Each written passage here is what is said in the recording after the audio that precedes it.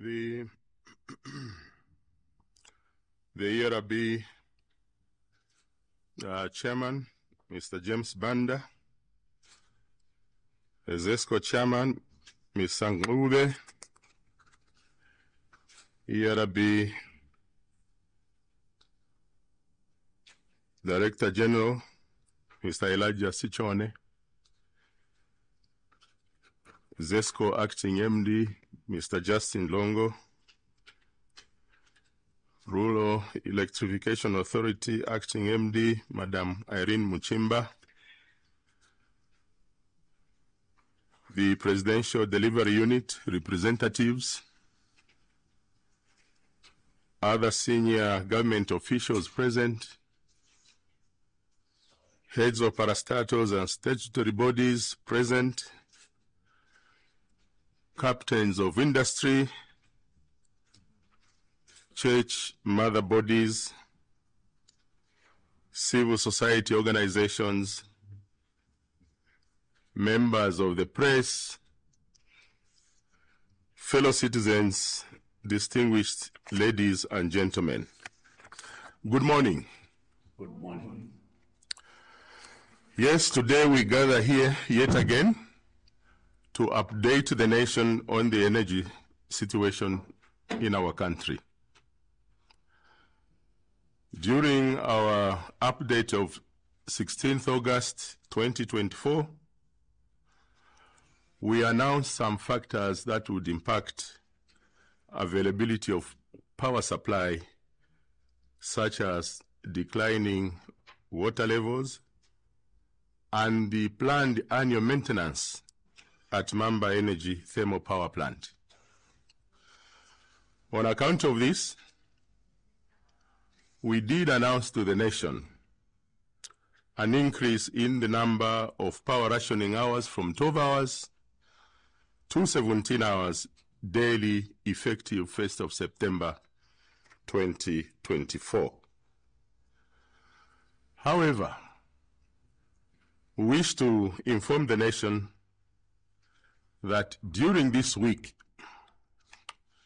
we have been experiencing power transfer constraints in the southern circuit via Namibia, which has resulted in reduced power imports of about 100 megawatts, causing therefore increased hours of load shedding in some locations.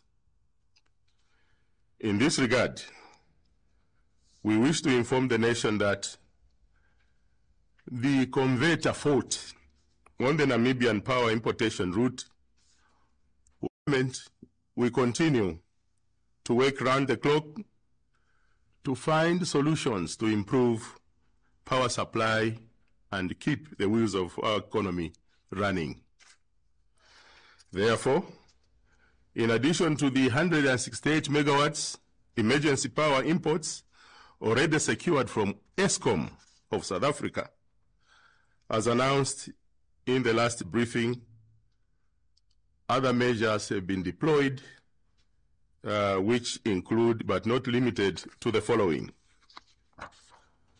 One, the addition of 50 megawatts of emergency power imports has now been secured from Southern Africa Power Pool and started flowing effective 24th of August 2024.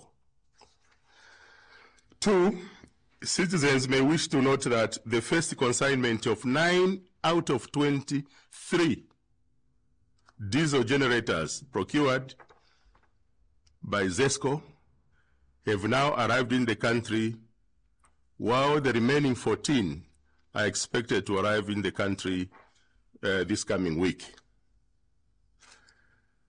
Now, the nine diesel generators that have been received so far will be installed this week, beginning with two at Chilenje and Nyumbayanga markets, and another two to be installed at Soweto market.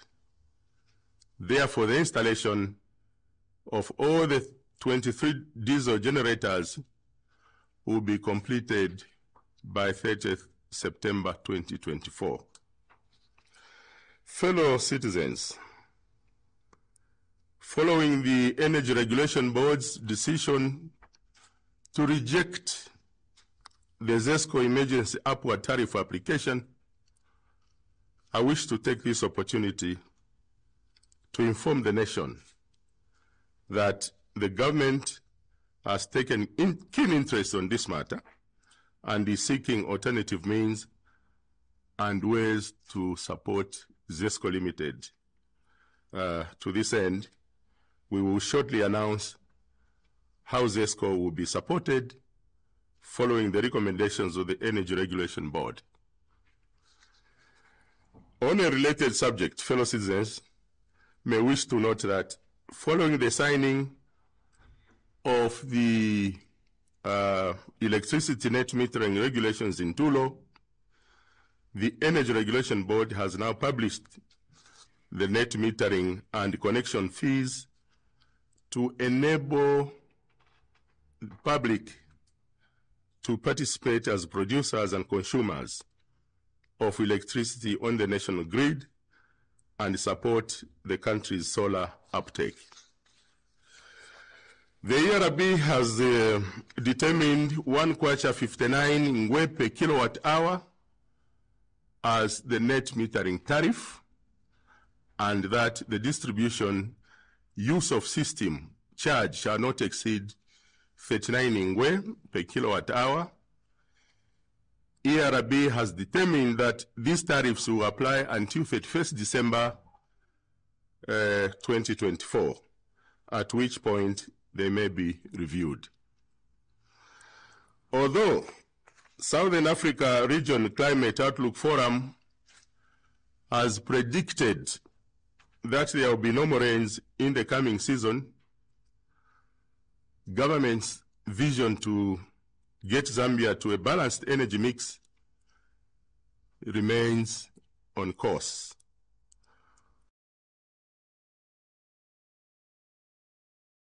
Forecast and deliver what we have promised to the people of Zambia. In this regard, fellow citizens may wish to note that a memorandum of understanding was signed just two days ago with Power China with a view to establishing a robust framework for development of power projects as well as ensure stability and security of power supply.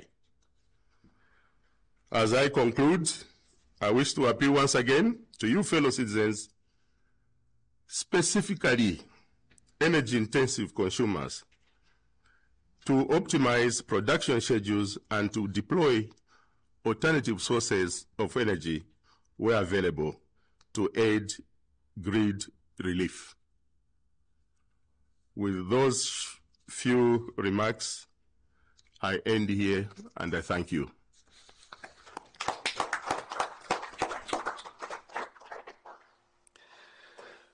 Those were very uh, short remarks, straight to the point, by uh, Permanent Secretary uh, Technical, the Minister of Energy, Mr. Peter uh, Mumba.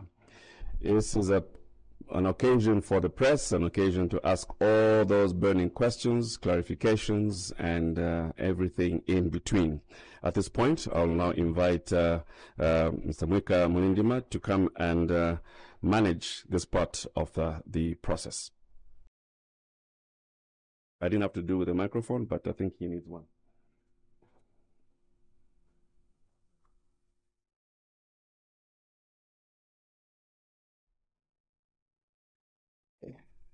Colleagues, we're at that point where we can ask questions. So, in the usual fashion, um, you raise your hands, you introduce yourself, name and institution you're representing, then ask your question. We'll take a set of three questions, and then if we have to, we'll go to the next set.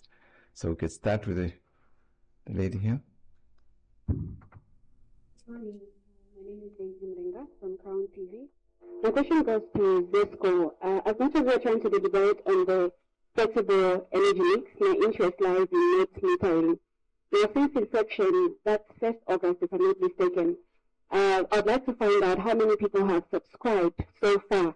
And also, I think the other thing that I'd also want to find out is what are the plans for expanding this calls to other parts of Zambia? But most importantly, what's the criteria used for somebody to, to, to qualify for net metering? Thank you. Okay. Is there any other question? Say hand over here.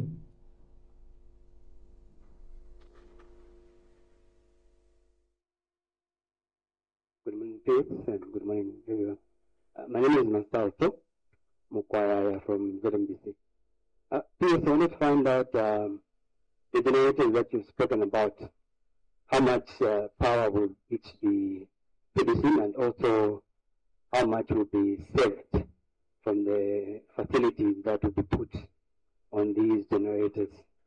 And also, um, on a different note, uh, the president recently directed that uh, dealers of solar energy equipment that are enjoying uh, government incentives the effect of them being generated, but then this is not onto consumers, be uh, uh, uh, approached to make sure that consumers benefit from this.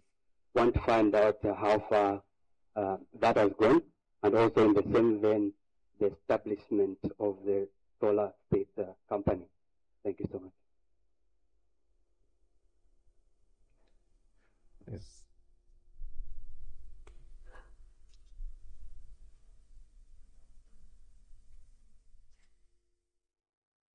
Good morning, High Table. Good morning, PS. Uh, Logic Lukwanda from Zambia Daily Mail.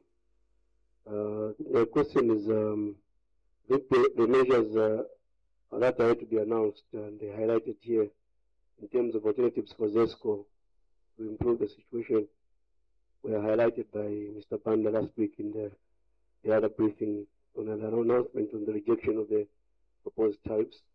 Maybe people out there want to know what are some of these measures and uh, when will they come? Because as we speak, I think we are all coming from communities and four hours of power. I think it's a, it's a tall order for many residents out there in terms of uh, literally doing everyday uh, activities. So what are these measures and when do they come? Because last week they were announced by the ERB board chair. They are still talking about these measures. When are they coming? Because I think the situation out there is there. Thank you. We'll have the PS answer those set of questions, then we'll ask the next set. PS. Yes, um, allow me to ask uh, ZESCO to give us the number of people who have so far subscribed for this uh, net metering.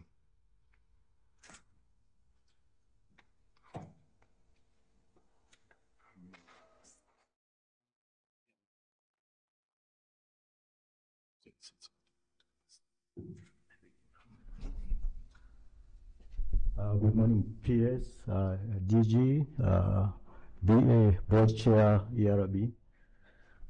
I'll talk to the questions uh, regarding one, net metering. Net metering, I think effectively said to roll out from uh, first August, but we have a few issues that we needed to, to resolve. A few more minutes and those to tighten. But as of seven September, July moved in and applied for net net metering. So this system will be implemented from uh, seven September. In terms of uh, where can you apply for net metering? Put up your solar panel anywhere in the country and you'll be connected to net metering. You can apply from anywhere in the country for as long as you have a solar panel, you'll be connected and you apply for net metering, this will be affected. The second question is uh, diesel generators. So far, we received uh, nine generators. They will be installed at various market points. The total generation from the diesel generators is 12 megawatts. But what this does is it creates a relief of about 39 megawatts from exempt loads. Areas where we needed to retain a certain quantum of power on account of us installing our diesel generators, we'll be able to save uh, 39 megawatts. Thank you.